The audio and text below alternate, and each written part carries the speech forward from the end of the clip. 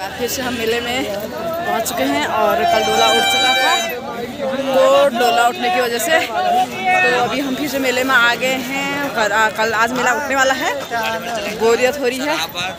लोग सामान समेट रहे हैं। और अभी फिर आ गए हम। हमने कहा एक चक्कर और आते हैं थोड़ा और शॉपिंग कर लेते हैं आज। भीड़ काफ़ी कम है अभी। झूले वूले भी बंद हो चुके हैं। अभी हम, मैं जा रही हूँ चूड़ियाँ खरीदने। चूड़ियाँ खरीदी नहीं है मैंने। चूड़ियाँ खरीदते हैं, उसके बाद मैं आपको यहाँ का व्यू दिखाती हूँ, किस तरह की भीड़ हो रही है अभी। इस तरह से अभी भी भीड़ है।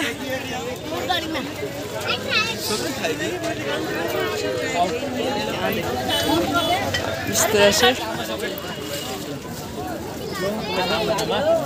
अभी पति जी गए हैं शॉपिंग करने। तो मैं थोड़ा चूड़ी की शॉप को जाती हूँ। चूड़ियाँ देखती हूँ यहाँ गाड़ियाँ आ रही हैं सामान ले जाने। तो मुझे ढूंढ रहे होंगे पतिदेव जी। फिर नाराज़ ना हो जाएँगी। मैं यहाँ को जाती हूँ। चूड़ियाँ खरीदी हैं मैंने अपने नंदों के लिए और अपनी माँ मम्मी दीदी लोगों के लिए। पतिदेव जी आए नहीं अभी तक। तो दोस्तों हमारी प्रचार गाड़ी पर ये मिनी इन्वर्टर चार्जिंग वाला बल्ब एक सौ अस्सी रुपए में एक बल्ब दिया जा रहा है। और दोस्तों साथ में नौ वाट की वाली मैं तो रास्ता भूल चुकी हूँ ये नैनीताल का सात नंबर। और ये मेरे जिद्दी पति देव जी इनसे कह रही हूँ कुछ खरीद लो आपने लिए। तो अभी कह रहे हैं कि मुझे नहीं खरीदना है। और ये पिकअप प्लेटें देख क्या खाए यहाँ पर?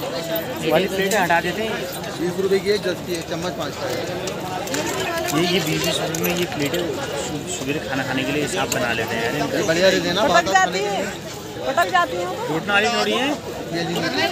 जल्दी नहीं टूटती टूटती तो है देखो टूटने के लिए सभी बनी है। हमारी तो कह रही है स्टील थोड़ी हुआ कोई। हाँ मतलब स्टील लड़ा है। मैं दूसरा वाला सोचते किचन कर रही होती मैं ले लेती। एक मैं तुम्हारे लिए सोच रही हूँ ले लो करके ना क्या ये? कमीज कमीज लेते हैं आओ ना। नहीं मैं ले रहा हूँ कभी अभी नहीं लूँगा मुझे पसंद नहीं आओ ना आ जाओ। मुझे। पसंद नहीं आई वो। आओ तो अभी। जब ज़बरदस्ती होगी पता लेना हो मुझे पसंद नहीं आई वो। कोई नहीं एक तुम्हारे पसंद मैं बर्थडे का गिफ्ट नहीं होगा हाँ? नहीं होगा चलो। तुम्हें गिफ्ट नहीं दूँगी फिर बाकी क्या?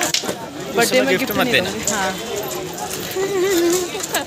उसमें गिफ्ट ना दो पर बर्थडे गिफ्ट ना कहूँ मैं है हाँ।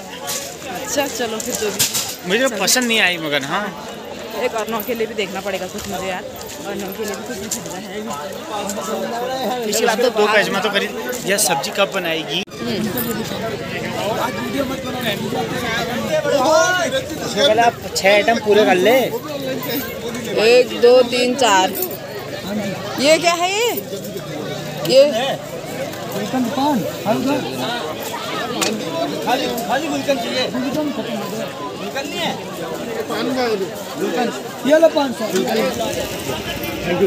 चलो। अब मैंने तेरे शैम्पू ले शॉपिंग हो गई है हमारी थोड़ी बहुत अब हम जाते हैं घर को। सामान समेटे लगे हैं लोग। यहाँ पकौड़े तले जा रहे हैं आपको दिखाते हैं। कितने की ली? बीस बीस की। तीस की ठीक है अभी। ये मस्जिद पे शीशे जा रखी है आज देखिए चले गए। अब हम चले गेट से बाहर। गेट दिखा दे ये रहा यहाँ का बड़ा गेट। गाड़ी आ रही है तो बस के मुझे भागना है। यहाँ से दिखाती हूँ आपको मैं। अब ये भी कल से खुलने लग जाएगा गेट भी। बुरा लगता है। फिर आज से अब सुनसानी लगने लग गई। कल डोला उठ गया था, उसी से बुरा लगने लग गया था। अभी सारे ट्रक वगैरह आ गए हैं, आप देख सकते हैं। अभी सारा सामान समेट लेंगे और कल तक फ़ील्ड खाली हो जाएगा। कल या परसों तक हो ही जाएगा। अभी तो हम दोनों मार्केट जा रहे हैं, थोड़ी सब्ज़ी वगैरह लेनी है। उसके बाद घर जाते हैं, बच्चे घर में हैं। कितना अच्छा व्यू आ रहा है। वाह। मिलेगा ले ले। मेले में तो लाइट है ही नहीं झूले वूले की लाइट होती तो ज़रा तब सही लगता है। अभी भी रौनक लग रही है, पर जो माता का डोला उठता है, उसके बाद बहुत बोरियत लगती है। अकेले अकेले खा रहे हो? आओ। तो दोस्तों, और मेरे मेला मेला ब्लॉग स्पेशल जो ब्लॉग बनाया था मैंने वो मैं यहीं पर समाप्त करूँगी। और उम्मीद करूँगी कि आपको मेरे सारे ब्लॉग अच्छे लगे, आप उन्हें ज़्यादा से ज़्यादा देखें। मेला की स्पेशल पकौड़ी, जो इतनी बड़ी बनती है यहाँ पे पति जी खा रहे हैं और आपको भी दिखा रहे हैं। तो अब मिलूँगी मैं आपको अपने अगले नए ब्लॉग में एक नई चीज़ के साथ। तब तक के लिए नमस्कार, बाय बाय टेक केयर जय उत्तराखंड, जय देवभूमि जय माँ नैना देवी।